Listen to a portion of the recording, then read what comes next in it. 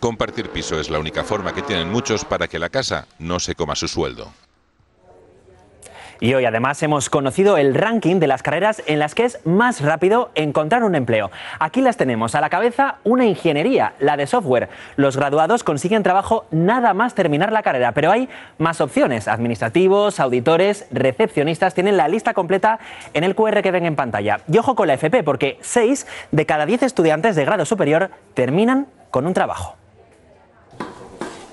Iván y Rubén están en clase, estudian formación profesional, quieren dedicarse a la construcción, son muy jóvenes, aún están aprendiendo y pueden presumir de esto. Tengo dos, tres ofertas, la tercera está ahí al caer. Tengo la seguridad de que voy a encontrar cosas. Antes de terminar los estudios ya tienen trabajo y además Son sueldos más del sueldo mínimo y estoy a gusto con las ofertas que tengo. no son los únicos en este centro. Podría hablarte que el 100% de, de estas personas cualificadas y formadas en la Fundación tienen inserción laboral. Quique ha optado por otra rama de FP, peluquería. Bueno, bastante bien, la verdad trabajo no falta. No le falta trabajo, ya tiene una oferta para este verano. Pero es cierto que hay tanta demanda que no tenemos suficiente mano de obra. Mano de obra necesitó Miguel Ángel para su empresa. Él estudió FP, es informático. En plantilla tiene a 22 trabajadores. Cinco o seis tenemos en plantilla que, que, eh, vienen de FP. Si hablamos de los trabajos con más contrataciones de universitarios recién graduados, escuchen porque la mitad